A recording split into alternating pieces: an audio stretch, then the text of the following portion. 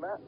intanto si stanno aspettando le macchine per completare il schieramento che vi ricordo ha in prima fila Reutemann visibile in basso sulla destra, al suo fianco Nelson Piquet, quindi in seconda fila Pironi e Patresi, in terza fila Watson e Jones, in quarta fila Villeneuve e Cheever, c'è evidentemente qualche problema, ha chiamato Frank Williams, Williams lo tranquillizza, evidentemente c'è qualche cosa nelle strumentazioni di bordo che, che lo preoccupa, continua a tenere il braccio alzato per segnalare che ha dei problemi. Intanto qui continua lo schieramento in partenza, dopo Villeneuve e Civer in quarta fila abbiamo in quinta la Fitta e Nigel Mansell, in sesta Rosberg e Prost, in settima Storia di Angelis, in ottava Surer e Jabui, in nona Giacomelli e Andretti, in decima Alboreto e Cico Serra, in undicesima Rebacche e Gabbiani, in dodicesima De Cesaris e Ghinzani. Ecco che sta arrivando anche Piquet che sta facendo un giro piuttosto strano per trovare lo schieramento, mentre intanto vedete che Patrese fa grandi segni coi bracci. Eh, evidentemente ha anche lui qualche problema, sta disperatamente richiamando l'attenzione dei suoi meccanici e nessuno se ne accorge, mentre intanto sta arrivando per schierarsi Gilles Villeneuve, mentre vedete che Patrese continua disperatamente a fare segni, sembra impossibile che nessuno lo veda, lo vediamo tutti noi anche alla telecamera adesso a stretto sul pilota ed ecco che finalmente uno si avvicina a Patrese che viene tamponato da Storma, eh, ma è impossibile e Stora ha per giunta gravissimo incidente adesso in partenza. Stor ha ferito il meccanico, ha ferito il meccanico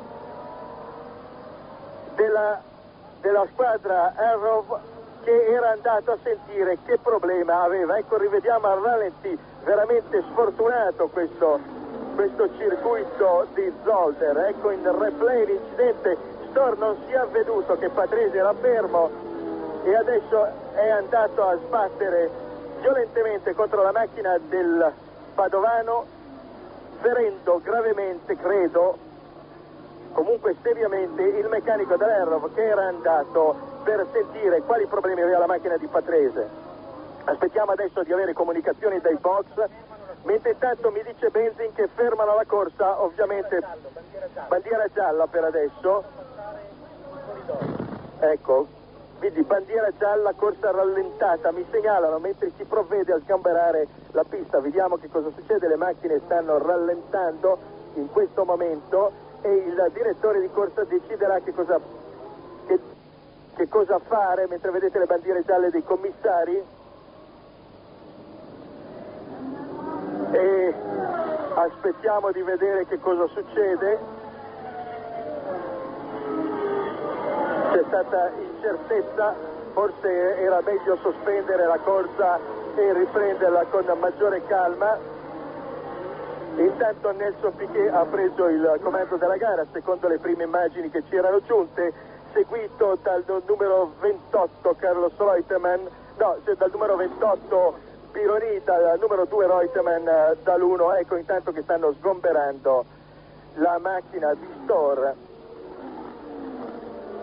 che aveva attamponato e ferito gravemente un meccanico dell'aereo, tamponando la macchina di Patrese che stava facendo disperati segni Uh, per far capire che aveva la macchina in panne, probabilmente gli si era fermato il motore e non riusciva più a riavviare. Intanto vedete l'ambulanza che cammina lungo il circuito mentre i commissari continuano a far segno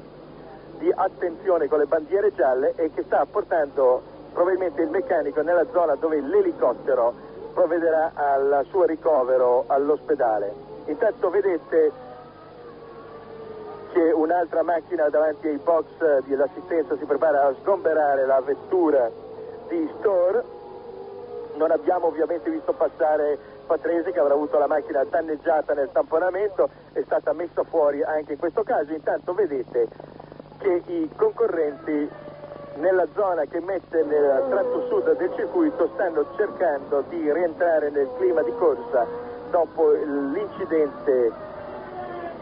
di partenza. Aspettiamo sempre notizie dai box, mentre dice, eh, vi dice Benzi che del secondo passaggio non ha visto il numero 28 Piro Nicola Ferrari che era passato in seconda posizione e sta arrivando lentamente adesso mentre vedete che Giver ecco, si fermano, i concorrenti si stanno fermando in questo momento, si stanno fermando e adesso vedremo quali decisioni mentre applaudono i meccanici, vedete i meccanici applaudono per questa decisione dei piloti mentre Nelson Piquet continua